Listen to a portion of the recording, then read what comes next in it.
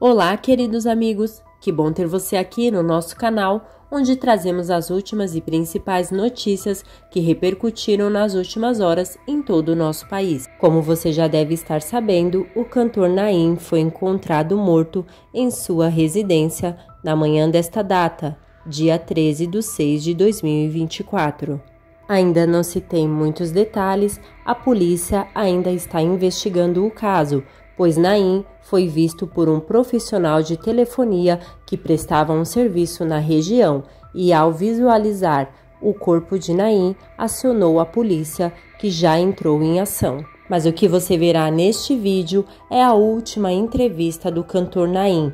Nela, ele relatou uma situação em que foi dado como morto e chegou até mesmo a receber a extrema unção de um padre. Mas antes de começarmos, convido você a se inscrever no nosso canal e deixar seu like para apoiar o nosso trabalho.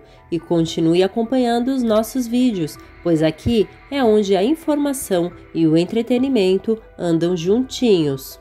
Pois bem, Naim Jorge Elias Júnior, mais conhecido como Naim, nasceu na cidade de Miguelópolis em 11 de agosto de 1952. O cantor iniciou sua carreira aos 10 anos de idade, quando montou seu primeiro grupo musical na escola em que estudava. Em sua juventude, Naim foi piloto profissional de moto velocidade carreira em que ele mesmo disse que passou por diversos acidentes, chegando a ter 26 fraturas pelo corpo. Mas a profissão que levou Naim a ter grande sucesso foi a carreira de cantor, pois em 1980 ele foi descoberto por um produtor musical. Naim lançou muitos sucessos, como a música Babyface, Cala Essa Boca e Coração de Melão.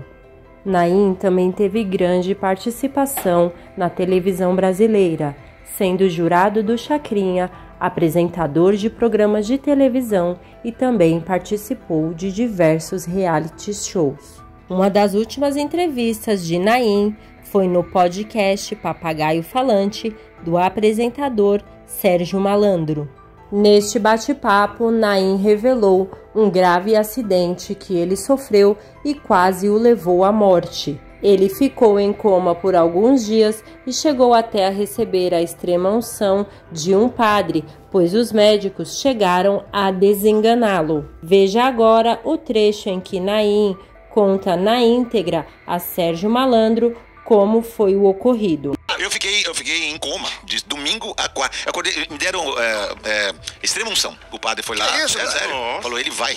Só que eu não fui, voltei. Na quarta-feira eu acordei do nada. Oi, onde é que eu tô? Hum, mas isso foi o quê? Uma corrida ou foi, foi uma, corrida? Eu, eu caí na, na, reta de Interlagos, é, no, no, final da na reta. reta? É, a, a, a, gente tava 300 e pouquinho por hora. Nossa. Então a moto foi tá embora e eu fui que nem uma bala no guarda-reio, assim, de capacete e tudo. Caraca. Isso foi no mas domingo à tarde. Mas por que você caiu a Tinha uma mancha de óleo bem na pista e eu tava na frente. Tava liderando a, a, prova? Foi na lagada.